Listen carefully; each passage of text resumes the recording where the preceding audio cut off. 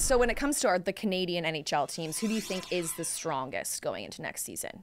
I still like Edmonton, and they they have Connor McDavid. I got to play and live w- with Connor and play for the Oilers for a bit, and I know what they have there, and I think everyone can see what he's able to do on the ice. And that's not even mentioning maybe the second best player in the world is Leon Draisaitl, and Right.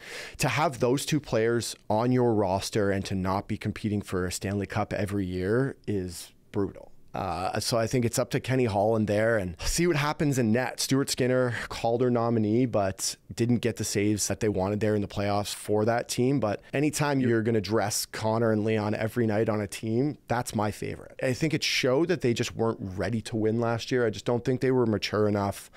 But oh man, they take a summer to think about that loss and to think about what Vegas did. I I really like the Oilers. I think too there was so much hype around them. Like people thought they were going to go till the very end, and I think that is what's so interesting about them falling. Is it was almost like I was surprised. Yeah, and you know it's it's tough when you play in that environment. And I played three years in Edmonton, and you are the town. The Oilers are Edmonton. I mean, they have the Elks there, Eskimos Elks. They well, that finishes early, and it's all Oilers all the time. So when you hear this stuff on a daily basis, it's hard not to walk around with a little pep in your step. Oh, the Oilers are so good, and your highlights are on every screen. You walk by a sports bar and you're watching your highlights all the time and the big media markets are talking about you it's hard not to you know carry Yeah. that on with you a little bit in a positive and a negative way right? You can have a little bit of swag but that can affect you in a negative way too and maybe having a little bit of hubris a little bit of arrogance at times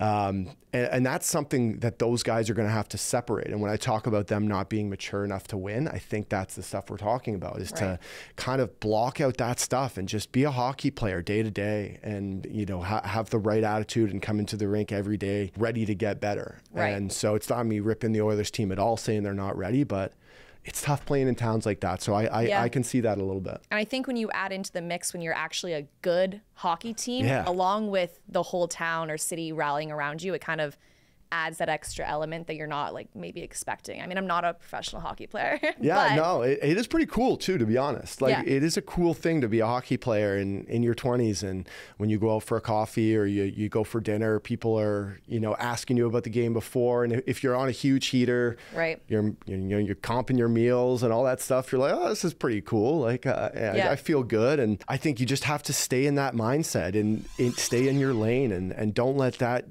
take over you too much and think, mm-hmm. you know, I'm the man here and just be respectful and, and bring a good attitude to the rink every day.